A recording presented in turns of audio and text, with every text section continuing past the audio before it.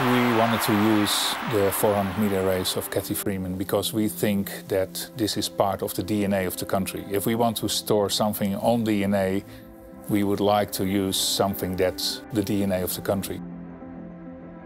In this case, it's about sport.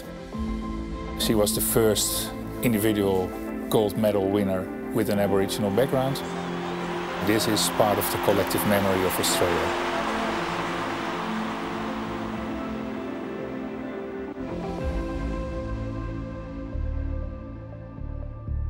Data storage in itself is, I think, the biggest challenge for an audiovisual archive. Managing all these data means that we need to have the right skills, the right equipment, um, but also a future vision about what a digital archive will be. And it's about managing data rather than physical objects.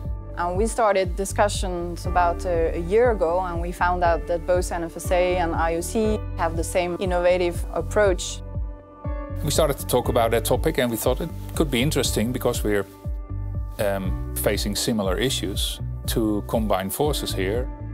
There are several key benefits of DNA. The first one is the small size of DNA, which means that you get an amazing density of information. And you could take the content of dozens of data centers and they could fit into a sugar cube.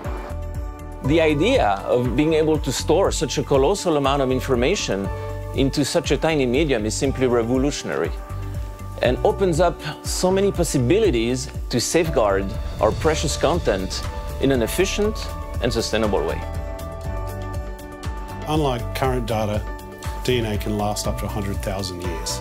So there's thousands and thousands of years of this data being stored in a physical format that'll never disappear. Because we want to make sure we preserve all our audiovisual assets for a generation to come. So of course, if we manage to save that file and to retrieve it, this will be a big success. If storage on synthetic DNA will become a viable solution.